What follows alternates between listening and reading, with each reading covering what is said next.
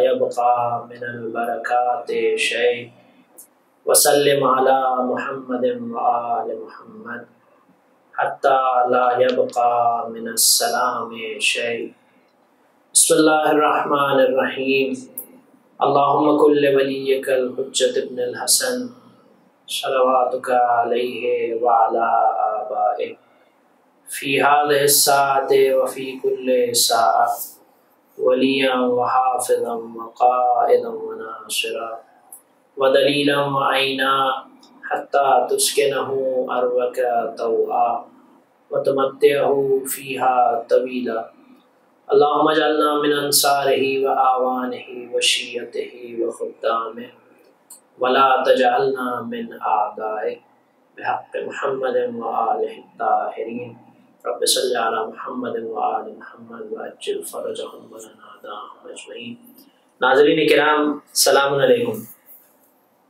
हम लोग एक बार फिर दर इल्म का एपिसोड नंबर पंद्रह लेकर आप हजरात की खिदमत में हाजिर हुए हैं अजीज़ा मोहतरम जैसा कि आपने पिछले एपिसोड में देखा था कि हम लोगों ने हज़रत इमाम ज़माना जल्ला शरीफ के मुतालिक। अली जनाब हजरतुलस्लाम वलमसलमिन मौलाना सैयद जुल्फ़ार मेहदी साहब की खिदमत में चंद सवाल पेश किए थे जो हमारे नाजरन की तरफ़ से हमारे तक आए थे। इस एपिसोड में भी उसी सिलसिले को जारी और सारी रखते हुए हम किबला की खिदमत में और कुछ सवाल पेश करेंगे और इन उनसे अपने जवाब हासिल करेंगे। हम उम्मीद करते हैं कि इन इन जवाब को हासिल करने के बाद आप हजरात भी इससे इस्तेफ़ादा हासिल करेंगे। आइए हम किबला से रूबरू होते हैं और अपने सवाल पेश करते हैं। किबला सलाम वालेकुम साहब जो हमने सिलसिला शुरू किया था इमाम सलाम से मुतल सवालों का जी। उन्हीं में कुछ और सवाल हैं जिसकी आपसे वजाहत चाहेंगे अपने नाजरीन के लिए। उनमें पहला सवाल ये है कि इमाम सलाम के मुतालिक लोग एक और शक जो पैदा करते हैं, वो ये कि इमाम सलाम जब ज़हूर करेंगे तो एक अलग किताब के ज़रिए से करेंगे। और हमारे सामने ये पेश किया जाता है अमर जदीद वल किताब जदीद के ज़रिए से। तो इसके बारे में आप अगर नाजरीन के सामने कुछ रोशनी डालें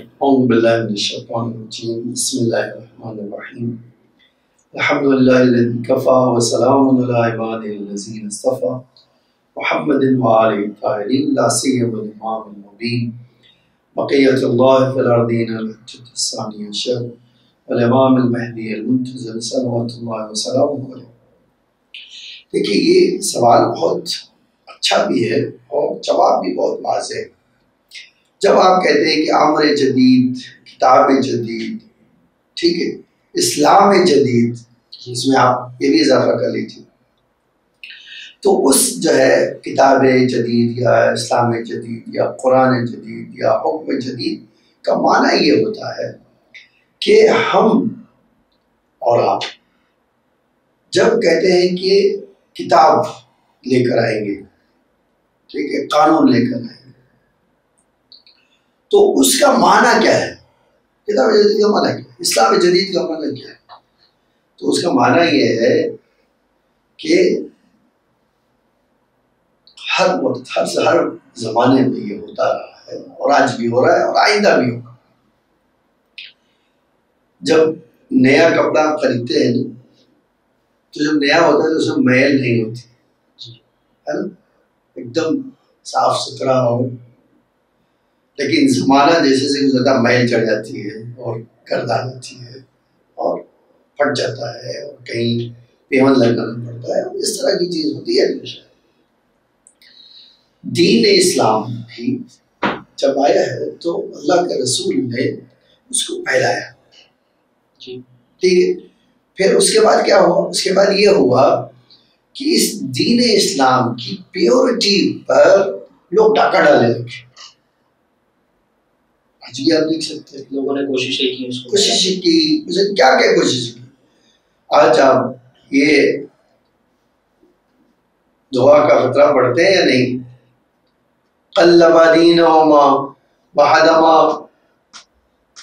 बैत नबुआ ऐसा माशाल्लाह जो है इस तरह की है ना? आपने वो मैं नाम ने सना में कुरैश आपने पढ़ी है दुआ। उसमें क्या है?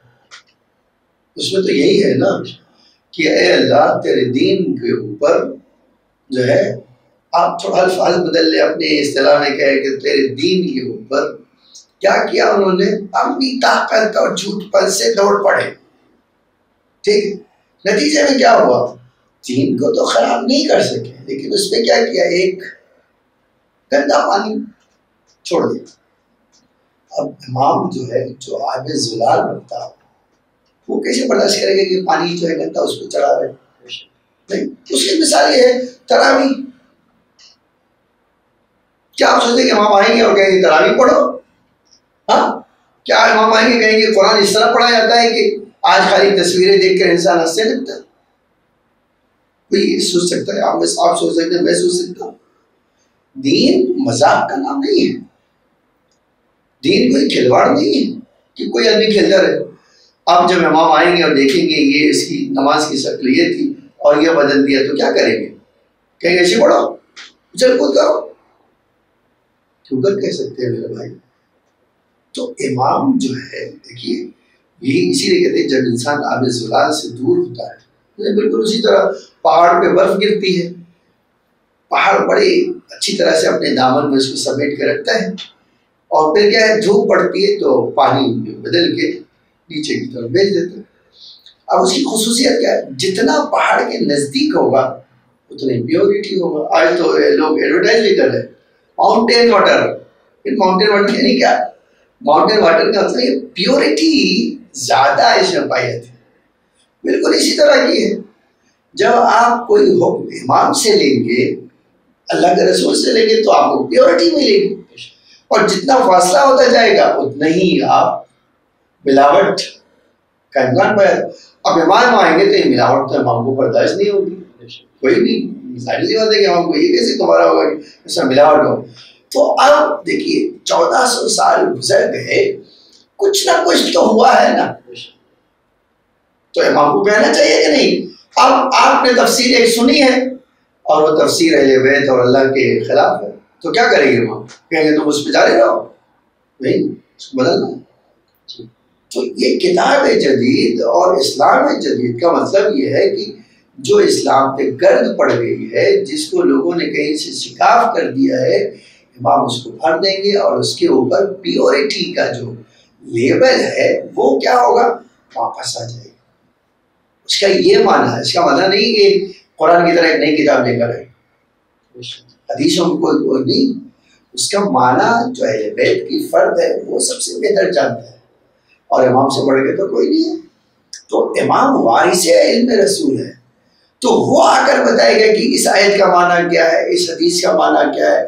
आज अच्छा देखिए आज आज एक मिसाल है आप कयाम बिसेफ का मतलब आपने गर्दन काटना रख दिया जबकि उसका मकसद तो है ही नहीं। सेम इसी तरह की बहुत सारे काम है बहुत सारी तफसीरें जो चल रही है। आज आप खाली एक बहुत मज़ाक मज़ाक लगता है। फलसफी मशरफ की तफसीर और नॉनसेंस इरफानी मशरफ की, तारीखी मशरफ। तो इन दस माने में एक ही सही होगा ना? तो दस नहीं सही होगा। तो जब एक ही सही होगा तो हम क्या करेंगे? कहेंगे दसों सही है? ये नहीं हो सकता।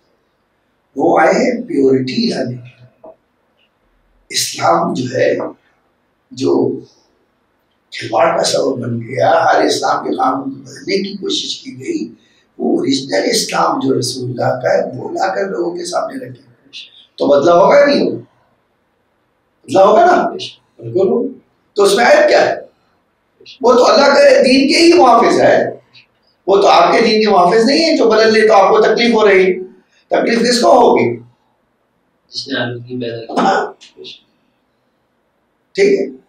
जिस जिसको वारिस है उसको तो करना ही है ये कि इमाम हुसैन जा रहे थे अट्ठाईस सज्जर इमाम क्या कह रहे थे? कहते मेरे नाना के दीन को बदल दिया उसी सीरत जद्दी मैं अपने नाना की सीरत पे चलूँगा और क्या करूँगा? उनके दीन को वापस ले आऊँगा। इमाम जमाना वारिस हुसैन है। तो ज़ाहिर सी बात है मुकम्मल कौन करेगा इस काम को? तो इसमें कहाँ कहाँ ऐप आपको नज़र आता है? ये खाली दुश्मनों का एक प्रोपगंडा है। शुक्रिया किबला इससे बेहतरीन तरीके से आपने वाजे किया कि ये सिर्फ़ और सिर्फ़ एक प्रोपोगंडा है और इमाम सलाम जब आएँगे तो अपने अजदाद के नाफिज किए हुए दीन को एक बार फिर से उसी तरीके से हमारे पेश करेंगे। हाँ जी बिल्कुल। अगर एक और सवाल जो काफ़ी हद तक देखा गया है ये गैर फिरके से भी हमारे पास आता है कि इमाम हसन अस्करी सलाम की जानशीनी के मुताबिक जाफ़र कज़ाब का जो वाक़ है कि उन्होंने क्लेम किया था उन्होंने दावा किया था कि जानशीन मैं हूँ और इमाम सलाम नहीं है।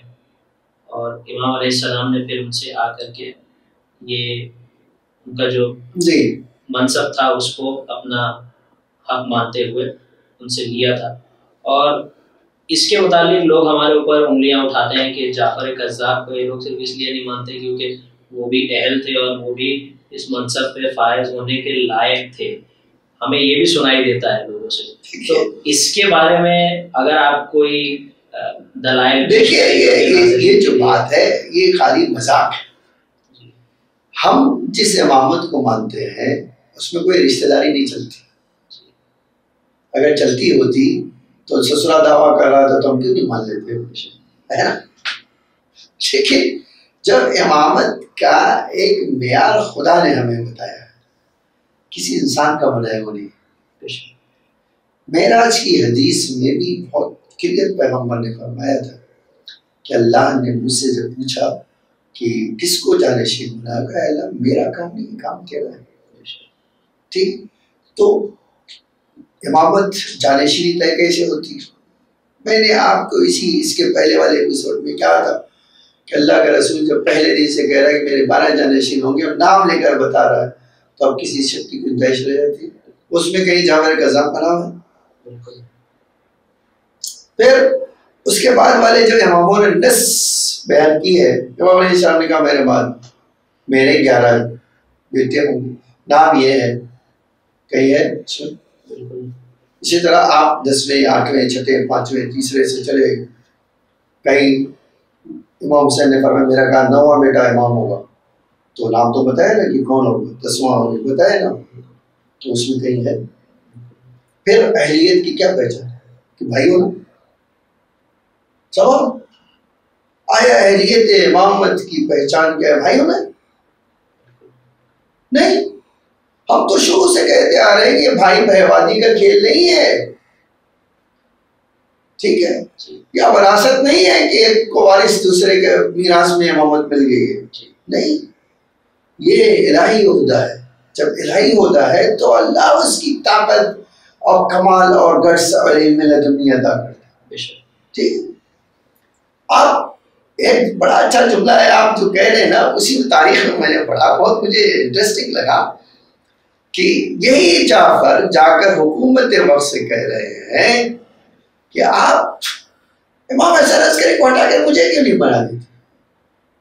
तो उसके वज़ीर खाकान मुझे खाकान ने उसने कहा कदा आपको ये समझ में आना चाहिए कि अगर हम ये कर सकते होते तो पहले कब का कर लिए होते? कर दिया होते। हाँ।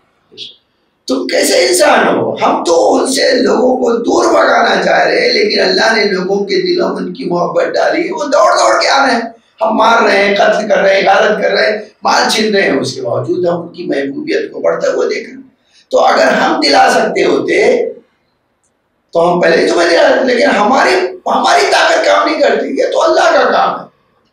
तो तुम्हें आप कैसे दिला सकते? हैं ये आप तारीख में देख लीजिए।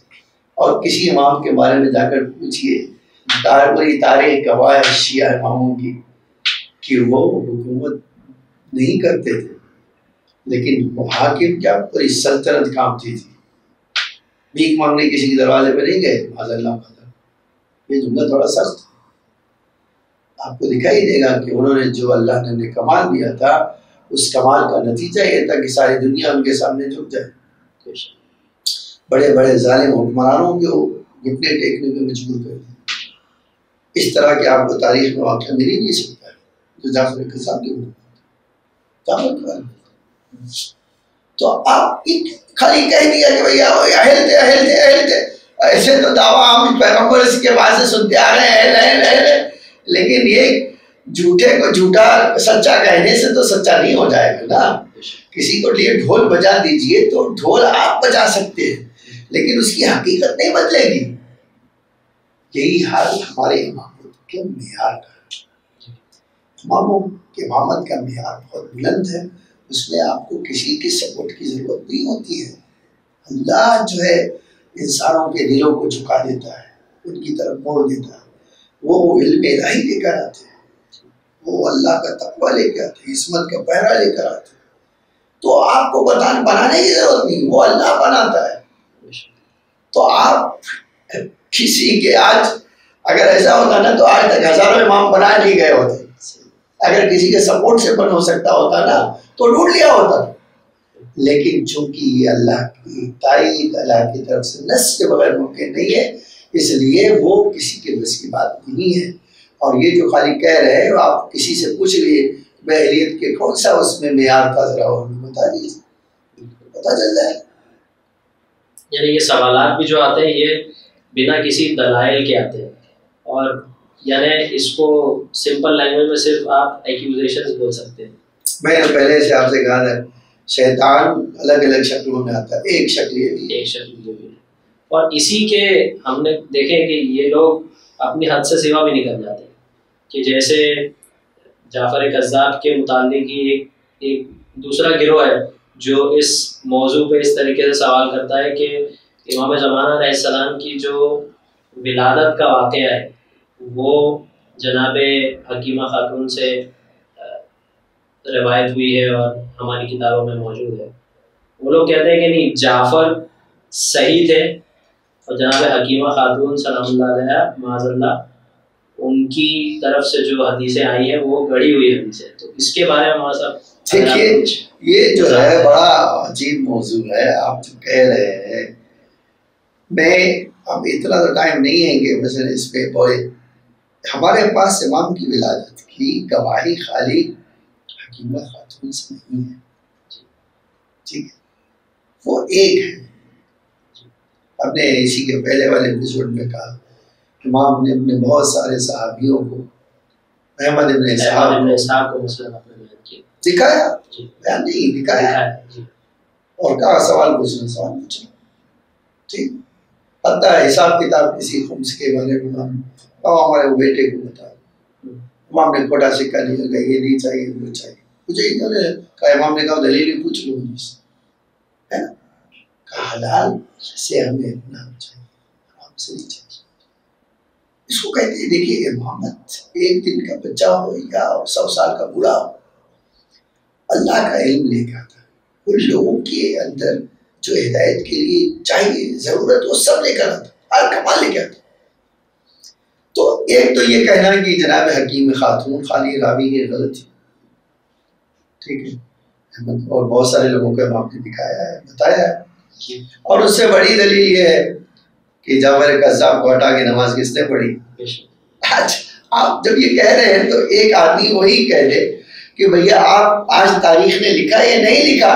कि नमाज़ पढ़ाने के लिए जब आगे बढ़े तो मैं अपने भाई में नमाज़ पढ़ू? तो किसी ने पीछे से उनका दामन पड़ का चचा हट जाइए हक मेरा है। तो कितने लोगों ने देखा?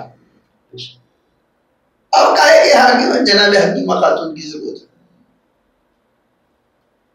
और वो हट गए। ये भी तारीख में नहीं लिखा ना कह दिया हमारे तो बेटे भाई के कोई औलाद नहीं है। ये कहना चाहिए था नहीं? तो फिर क्यों लिखा है ना एक सवाल फिर देखिए, ये जो है अच्छा हमारे वहाँ जनाब कुलैनी से लेकर तारीख में इमाम की विलादत की जो बात है कि मरहूम कुलैनी ने काफ़ी में बड़ी वाज लफ्ज़ों में लिख दिया कि दो सौ पचपन हिजरी में इमाम पैदा हुए। फिर उसके बाद मसूदी ने अपनी तारीख में, शेख सदूक ने, बहुत सारी शेख मुफीद ने और सैद मुर्तज़ा ने वहाँ से लेके फहरिस्त है। ठीक? उसके बाद मुझे आना था, ये जो कहते हैं, जो लोग भी इस तरह का सवाल करते हैं, सुन्नियों में से कुछ तो कहते पैदा होंगे, जैसे वहाँ भी। कहते हो पैदा होंगे। लेकिन इन्हीं सुन्नियों में से कितने, उन्होंने कुछ उलमा ने सुन्नियों की किताब लिखी है और कहा है, एक सौ सैतीस हवाला सुन्नी किताब का दिया है कि जिसमें इमाम जमाना पैदा हो चुका ठीक है, मैं दो चार आपको सुनाई देता आप सुनिए। हो, उसमें से अब एक सुनिए जो है, इब्न असीर जजरी जो है तारीख में लिखते हैं कि 260 में इमाम हसन अस्करी का इंतकाल हो गया और वो बाबा है मोहम्मद अल्लदी या तकदून और मुंतजर में सरदार उनकी औलाद का बेटा मोहम्मद, जिसके बारे में शिया अकीदा रखते हैं कि सरदार मुकदस वो तो खैर आगे जो है उन्होंने इतना परवाह नहीं किया, लेकिन उन्होंने ये लिख दिया कि उसका बेटा ये दूसरे तलाह शाफई ने लिखा, अबुल कासिम मोहम्मद इब्न हसन खान इब्न अली, हुवल महदी उल हुज्जतुल खलफ सालिह। ये तो सुनिए ठीक है। फिर सिद्ध इब्न जौजी ने ये जो है लिखा फस्ल फ़ी ज़िक्र हुज्जत अल महदी और आखिर लेकिन आखिरी इमाम है उनके शीर चंदी शाफी ने सातवीं हिजरी में इब्न खलकान ने लिखा कि अबुल कासिम मोहम्मद इब्न हसन अस्करी इब्न अली आदि सानी अशर अहमद अशर अला इतकाद इमामिया अलमारू बिल हुज्जा कानत विलादतहु यौमुल जुमा जुमे के दिन उनकी अब आप यानी इस कदर डिटेल में अहले सुन्नत वल जमात किताबें लिखी रावी भी फ़सल लिखा है। इसको लिख हाँ, जी मैंने कहा कि अब इब्न खलकान ने अली इब्न मोहम्मद इब्न सब्बाग मालिकी ने आठवीं हिजरी में हत्ता मैं हैरान हो गया। आप इब्न तैमिया ने फतुए अमल किए मक्किया इब्न तैमिया तो उनके बाप में वहाँ भी होंगे। उन्होंने फतुए मक्किया में लिखा। और उनसे बहुत सारे लोगों ने नकल किया। बाद में वहाबियों ने क्या किया? वो फतह मक्किया से वो हिस्सा निकाल दिया। लेकिन देखिए, उनके चोरी कैसे पकड़ी जाती है? जब दूसरे उलमा ने लिखा है कि इन्होंने फतह मक्किया में लिखा है, फलासफे पे, और मैं गवाह हूँ। सुन्नी अभी आलिम है, शिया तो नहीं है। तो इसका मतलब क्या है? पहले थी, आपने बाद में निकाल दिया उसे। लेकिन आपके निकालने से क्या हो? दस आलिमियों में क्या करें उसको है हाँ, और ये बाद नुस्खा भी मौजूद है पुराना। तो, तो आप नहीं कह सकते। तो ये जो है उन्होंने बड़े वाज अल्फाज से ये कहा है और अजीब ये है कि मैंने कहा कि शिया उलमा तो अपनी जगह है ये सुन्नी ओलमा है जिन्होंने विलायत का एतराफ़ किया है और कोई उसमें उन्होंने शक व शुबा ज़ाहिर ही नहीं किया है। ठीक है? और सही, ये जो है, देखिए शबलंदी ने मसन दो सौ नब्बे हिजरी में ये लिखा है। कुंदूजी ने लिखा है। मैंने कितने आपको अब एक फहरिस्त से आप जाके पढ़ लीजिए। एक किताब मुस्तकिल लिखी गई है। हमारे पास एक मुस्तकिल किताब है। किस बात के लिए? कि किताब फ़ी इस बात विलादत इमाम। ठीक? तो ये कहना खाली एक बड़ा मज़ाक है कि शिया जो है हकीमा खातून की रवायतों खाली ले लेते हैं और इसकी दुश्मनी में ले लेते हैं। नहीं मेरे भाई, हमें आज के आले रसूल से कोई दुश्मनी नहीं। हम उनके चाहने वाले हैं। हम तो जाफ़र कस्साब के बारे में भी कोई बात नहीं कर रहे। वो इमाम की औलाद है, उन्होंने गलती की है, वो भुगतेंगे मैं, हमें तो उसका हक नहीं है ना। लेकिन जो इमाम है, वो इमाम है, जो इमाम नहीं है नहीं। ठीक है, वो तो बात अलग है। तो ये कहना तो सिर्फ़ नाइंसाफ़ी और तासुब के अलावा कुछ नहीं है। मैंने कहा कि इतने बड़े बड़े उलमा जो है, सुन्नियों की उन्होंने किताबें लिखी, उन्होंने अपनी किताबों में ज़िक्र किया। ठीक? ये ऐसा अकीदा है जो मुसलम सबूत है। आप अगर कोई इनकार कर रहा है तो तारीख का इनकार कर रहा है, सूरज का इनकार तो उससे आदमी से तो पहले से कह जो समझना चाहते आप उसको समझा सकते हैं। जो समझना नहीं चाहता है, उसको आप समझा नहीं सकते। और हम लोगों ने ये भी देखा कि पिछले एपिसोड से लेकर अब तक जिस तरीके के एतराज़ आते हैं ज़्यादातर जैसा कि आपने भी बताया ये उसी तरीके के हैं कि जहाँ लोगों को चीज़ें माननी ही नहीं है और सिर्फ़ और सिर्फ़ लोगों के दरमियान एक फतूर एक शैतानत पैदा करनी है कि इमाम सलाम के मुतालिक उनके अकीदे के मुतालिक इस तरीके के डाउट्स शक लोगों के दरमियान फैला दिए जाए।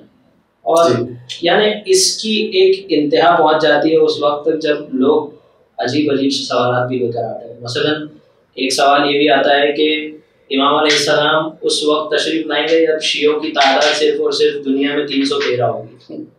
जी जी बिल्कुल बिल्कुल ये उसी तरह का। यानी तीन सौ तेरह का एक अदद हमको मिला है लेकिन क्या इसमें इस ये बात है? नहीं है कि वो या इस लिहाज से कहा है कि इमाम के तीन सौ तेरह कमांडर होंगे जी। जी। ये तो बिल्कुल जो आपने कहा है वो बिल्कुल इस तरह का और लाइल जाहिल लोग हैं जो इस तरह की बात करते हैं। कहीं भी हमारे वहाँ रवायत में नहीं है देशों में नहीं है कि बस तीन सौ तेरह शियाई होंगे और कोई नहीं होंगे।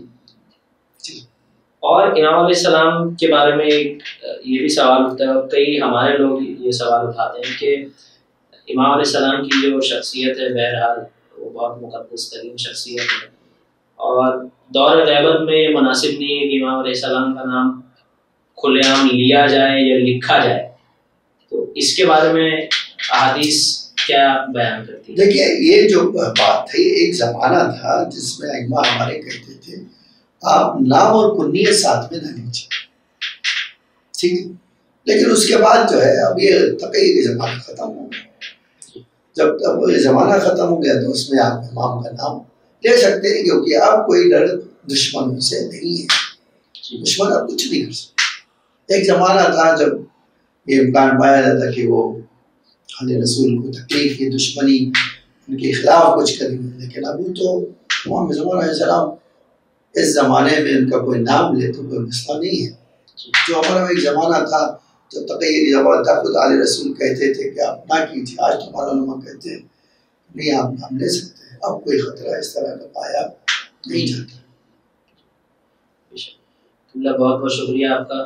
ये सवालात यकीनन कुछ वो सवालात थे जो हमारे नाजरीन के जहनों में भी होंगे और हम उम्मीद करते हैं इंशाल्लाह हमारे नौजवान इससे इस्तेफादा हासिल करेंगे।